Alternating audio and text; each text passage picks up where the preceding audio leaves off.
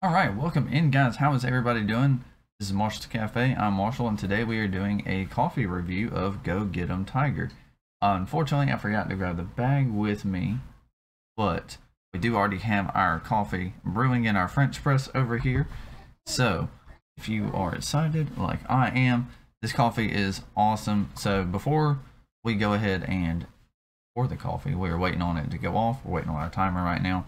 So I'm going to go ahead and kind of give y'all an update on stuff that's going on. Uh, there's stuff going on in the background behind me. Just ignore that. But uh, anyhow, so the coffee is GGET, which is Go Get 'em Tiger.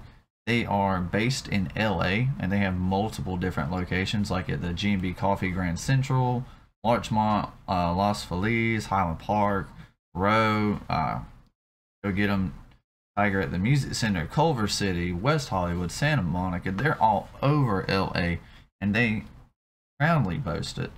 Uh, they also have a coffee club which starts about $19 a week. And I mean, hell, it delivers exclusive and unique coffees pretty much to your door. So you can't really go wrong with that. Um, another great thing about them is that if you go to their website, they have tons of different gear. So all kinds of like grinders and different things for your coffee stuff is all laid out right there on their website, which I will, yeah, per week you can set it up so you can do it 19 per week.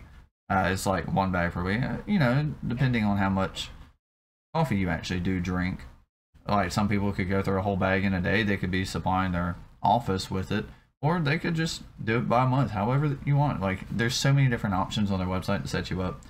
And like I was saying, their gear, they got tons of stuff on the website. And then once you get it all set up on that, you get all your coffee stuff, you easily have the ability to go drink your coffee. And then once you drink this coffee and you taste it the same way we're about to and love it the same way that we do, you can go and buy some merch, shirts, hats, whatever have you and absolutely enjoy the hell out of it.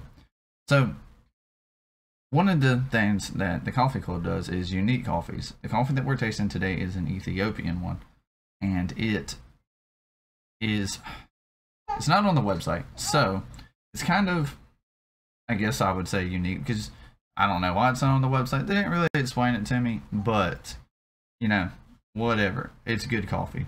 And that's honestly all that matters. We got another minute or so left on our like timer. So, and start it up a little bit. All right. So, with Ethiopian coffee, just so you know, it is a dry process, uh, like kind of a fruit forward bean.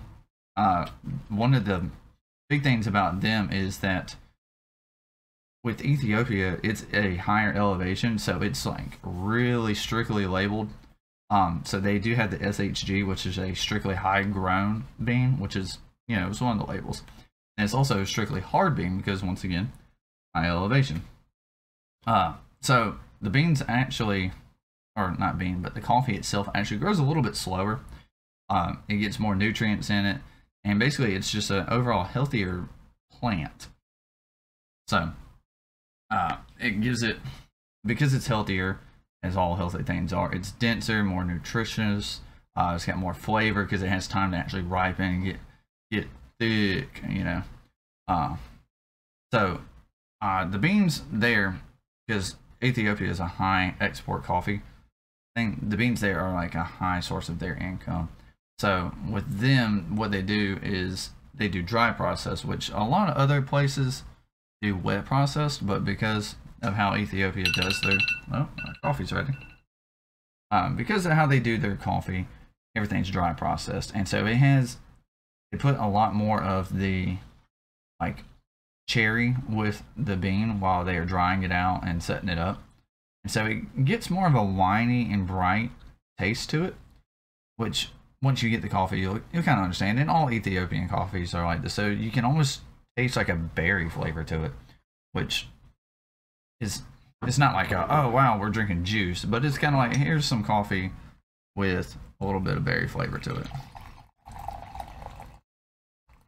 And the wet processing is a newer method, and when they do the wet process, the fruits actually removed from it, so it doesn't get as much of a like berry flavor to it.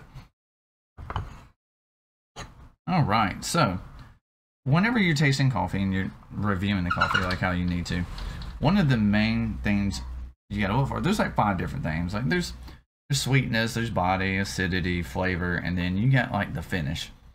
So obviously, as you can tell, our coffee's at a good or ripe temperature. So one thing that we need to do from there is, to me, I always base everything off of my second sip and never my first. Because the first one is pretty much just like heat to me. Never really get the real flavor. So.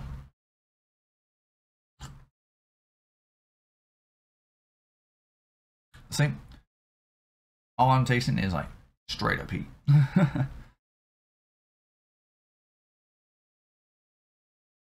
Alright, so with that, like the very first thing you taste, you taste the coffee, but then you also taste a little bit of the acidity, but you can taste the sweetness to it. Like you can taste the, the fruity flavors, the floralness to it.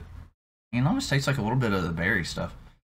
Uh, whenever you have more earthy coffees, you can taste like the, caramel, like a dark caramelized like sugar in it, and the molasses, like more, it tastes more earthy, honestly. Uh, when you have darker roasted coffees, that's one of the things that you can taste as well, like the brown sugar, like a mapley flavor. You know, a lot of people who do the coffee with different like flavors in it, like a brown sugar one, they use a darker roast. So, um, let's see here.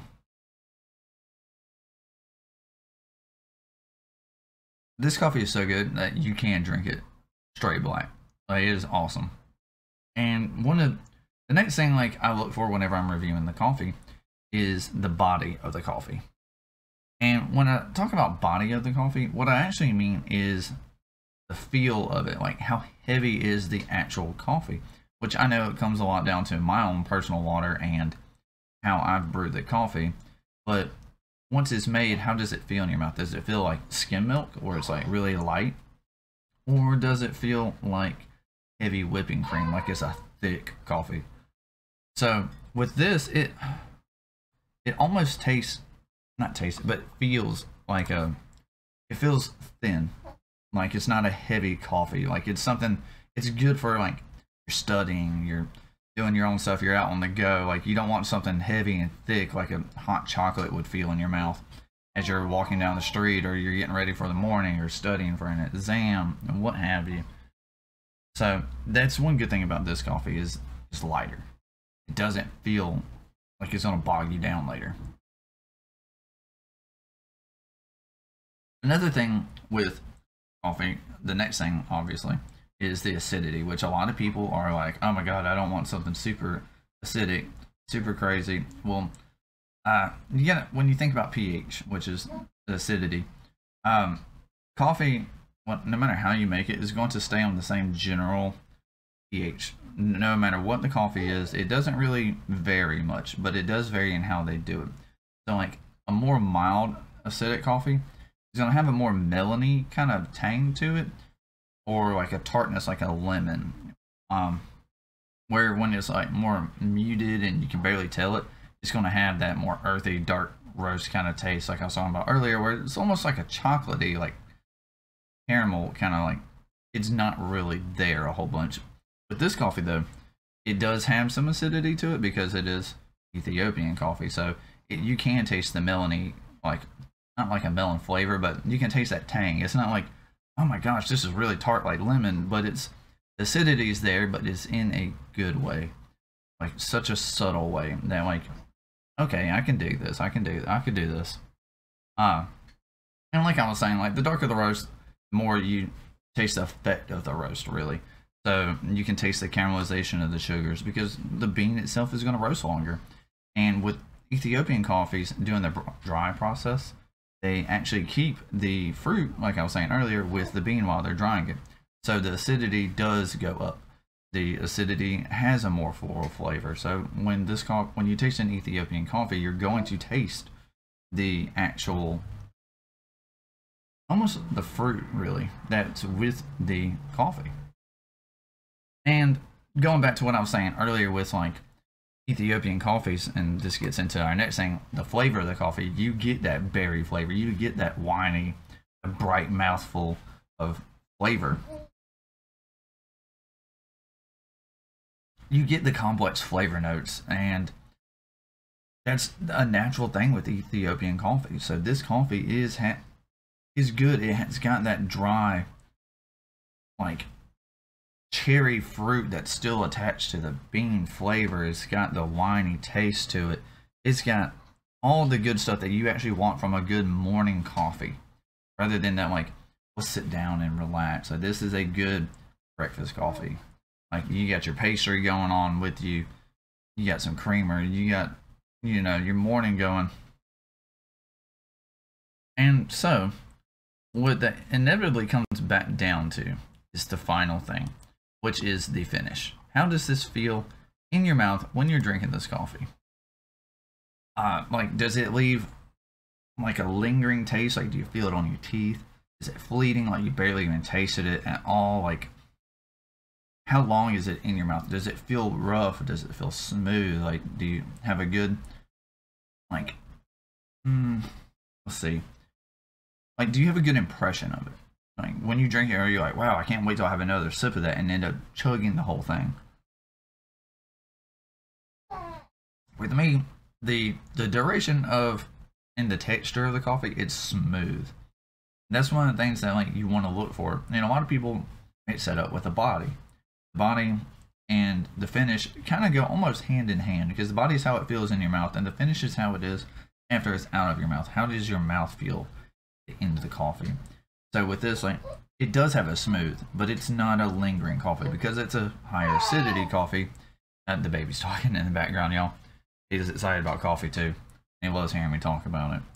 So with this, it's a higher acidity coffee a fruitier coffee. It doesn't sit in your mouth. It doesn't leave that like chocolatey flavor like a dark roast would because it's a it's more of a medium to light roast. Like when you see this bean, like you'll see what I'm talking about. It is a it's not black. It's got a light roast to it, and you can definitely tell in how well that GGET did the roast of this bean. Like they made a phenomenal coffee, and honestly, it's one that I'm gonna have to keep in my circulation because it's that good it's such a I can have a nice summery spring day. You know, they got all these locations in Hollywood, so I see why they didn't do a heavy roast on this because of the awesome weather that's in LA. So it doesn't linger. It kind of goes a little bit quickly. I am kind of sad to see it go though, but I did make a whole big thing out of it. So everything seems like it's pretty good. If y'all have any interest in this coffee, which you absolutely should, I'm going to drop the link. It's in the bio. Check them out. We do have it on Discord, so all you have to do is hop in that with our channel and come check out more coffee reviews. If you did enjoy this, make sure you do come back, hang out, and have some more coffee. So guys, I'm Marshall. This is Marshall's Cafe. Hopefully you enjoy your cup. I'll see y'all soon.